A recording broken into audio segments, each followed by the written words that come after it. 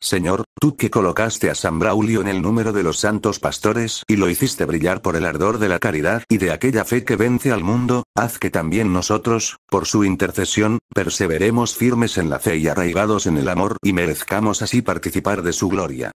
Por nuestro Señor Jesucristo, tu Hijo.